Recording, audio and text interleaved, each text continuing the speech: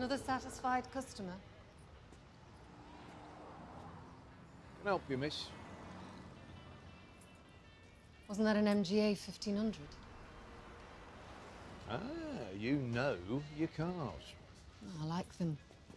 I love the sound they make, the way it goes right through you, Right.